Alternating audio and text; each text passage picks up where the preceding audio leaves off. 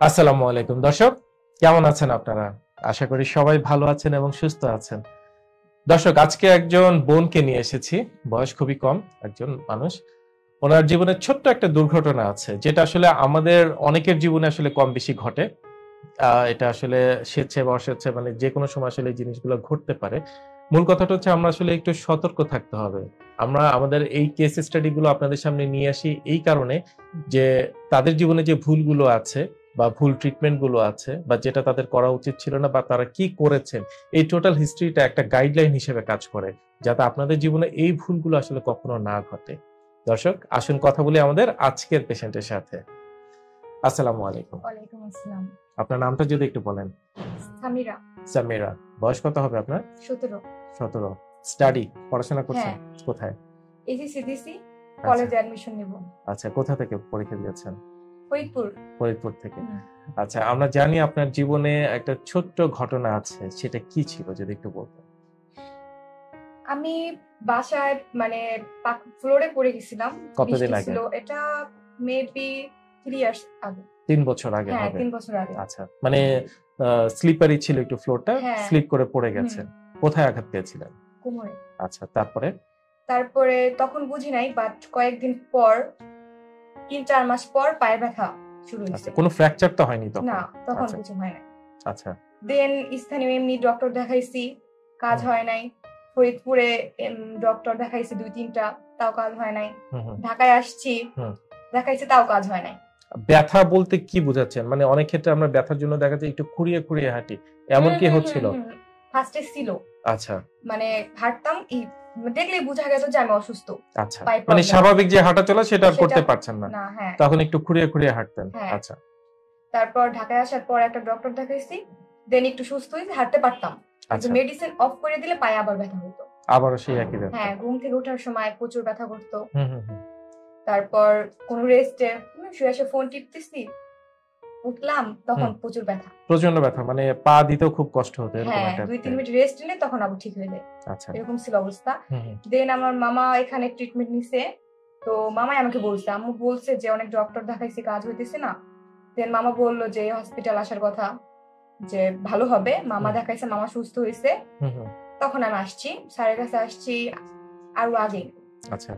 আমার এইচএসসি এক্সামের আগে। আসার আচ্ছা। পর ডক্টর বলল যে না বেশি প্রবলেম হয় না তুমি অ্যাডমিট হও তাহলে ইনশাল্লাহ ভালো হয়ে যাবা। আচ্ছা মানে অল্প দিনের ভিতরে হয়তো হ্যাঁ, ভালো হ্যাঁ। হয়ে যাবে। কিন্তু তখন আমার পসিবল ছিল না ভর্তি হওয়ার এইচএসসি এক্সাম ছিল।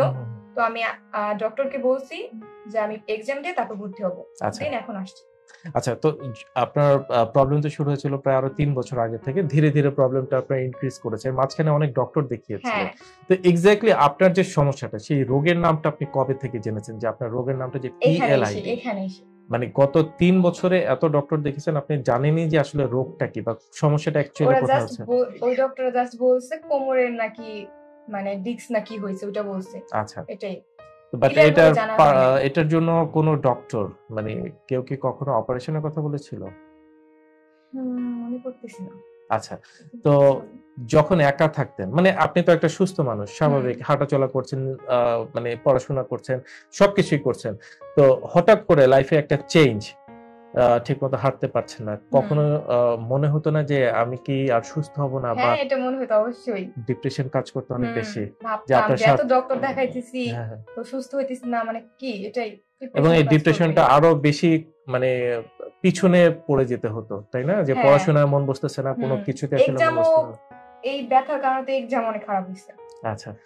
তো যখন স্যারের কাছে এসেছেন এবং স্যার যখন বলছে না এটা কোনো ব্যাপার না খুব অল্প দিনে সুস্থ হয়ে যাবেন কেমন লেগেছে? তখন ভালো লাগছে। এবং সেই কনফিডেন্সে ভর্তি হয়ে গেছে। হ্যাঁ। আজকে কতদিন আপনার? সাত দিন। মাত্র সাত দিন। এবং আমরা জানি যে আপনার সাথে আপনার খালাও ভর্তি ছিলেন। হ্যাঁ ওনার কি অবস্থা? সেও আলহামদুলিল্লাহ ভালো আছে। সেও আমরা জানি যে সাত দিনই সুস্থ হয়ে গেছে। তো এই যে গত তিন বছরের কষ্ট মাত্র সাত দিনে ভালো অনুভূতিটা কি? ভালো লাগতেছে। আপনার হাসি বলে দিচ্ছে যে আসলে আপনি কতটুকু ভালো আছেন এবং এখন আবার আপনি ক্লাস করতে পারবেন বাইরে যেতে পারবেন ফ্রেন্ডসদের সাথে দেখা করতে হ্যাঁ। পারবেন এবং সাংসারিক যে নিজের কাজগুলো সেগুলো খুব সহজে করতে পারবেন।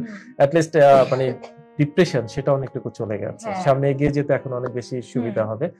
আমার দর্শকদের জন্য এরকম অনেক মানুষ আছেন যারা জানেন না। যেমন আপনি যদি তিন বছর আগে জানতেন এখানেই ফার্স্ট আসতাম। হ্যাঁ আপনার লাইফ থেকে কিন্তু এত সুন্দর সময়গুলো কখনো চলে যেত না। হ্যাঁ। হয়তো লাইফটাকে আরও সামনে এগিয়ে নিয়ে যেতে পারতেন। সো যারা জানে না তাদের জন্য কিছু বলবেন? যারা জানে না তাদের আমি যদি জানি যে সে অসুস্থ বা এরকম প্রবলেম আছে আমি বলব এই হসপিটাল আসার কথাই। কারণ আপনার কনফিডেন্স বেড়ে হ্যাঁ আমার এটা বুঝছি যে এখানে আসার পর ভালো হবে সবাই ইনশাল্লাহ এই যে এত অল্প দিনে মাত্র সাত দিনে আপনি এবং আপনার খালা সুস্থ হয়ে গেছেন এর পিছনে মূল কারণটা আপনি কি মনে করেন? কি তাদের সার্ভিস খুব ভালো? তাদের হ্যাঁ, ট্রিটমেন্ট খুব এটা তো ভালো? বলবোই সার্ভিস স্পেশালি ফিজিওথেরাপিস্ট আপু সে খুবই ভালো। আচ্ছা। তার এক্সারসাইজ ট্রিটমেন্ট আমার খুবই ভালো লাগছে। আর এখানে প্রতিটা প্রতিটা আপুই মানে সবাই ভালো ব্যবহার তাদের অনেক ভালো পুরো ফ্রে মানে আমাকে পুরো ছোট বোনের মতো দেখছে। মানে আমরা তো আসলে অনেক হসপিটালে যাই অনেক ক্ষেত্রে দেখা যায় মানুষের ব্যবহারের জন্য আমরা হচ্ছে দেখা যাচ্ছে যে আসলে ঠিক সুস্থ হয়ে ঠিক সুস্থ হই না আবার ভালো ব্যবহারে আমরা হ্যাঁ। অর্ধেক সুস্থ হয়ে যাই। হ্যাঁ। এবং যখন আমরা পরিবারের একটা ফ্লেভার পাই তখন দেখা যায় আমাদের সুস্থ হয়ে ওঠাতে অনেক বেশি হ্যাঁ এখানে আমি ফার্স্ট যখন আসছি বোরিং লাগছিল বাট যখন আপুদের সাথে তারপর এখানকার খালারা তাদের সাথে মিশে অনেক ভালো লাগছে ফ্যামিলির মতোই মনে হয়েছে। আলহামদুলিল্লাহ, খুব সুন্দর বলেছেন। দর্শক, শুনলেন তো, ওনার হাসি আসলে বলে দিচ্ছে যে আসলে উনি আজকে কতটুকু ভালো আছেন, কতটুকু সুস্থ আছেন। আসলে আমরা যখন অসুস্থ থাকি, আমাদের পুরো পৃথিবীটা অন্ধকার হয়ে যায়। আর যখন আমরা সুস্থতার পথে ফিরে আসি, পুরো পৃথিবীটাকে আমরা অন্য রূপে দেখতে থাকি। তো দর্শক, আমরা সবাই সুস্থ থাকব, চেষ্টা করব সুস্থ থাকার জন্য, ভালো থাকার জন্য। যখনই সমস্যা, তখনই বিশেষজ্ঞের পরামর্শ। নিজে নিজে ট্রিটমেন্ট করতে যাব না, নিজে নিজে ট্রিটমেন্ট অনেক ভয়ঙ্কর। তো দর্শক, ভালো থাকবেন, সুস্থ থাকবেন। আসসালামু আলাইকুম।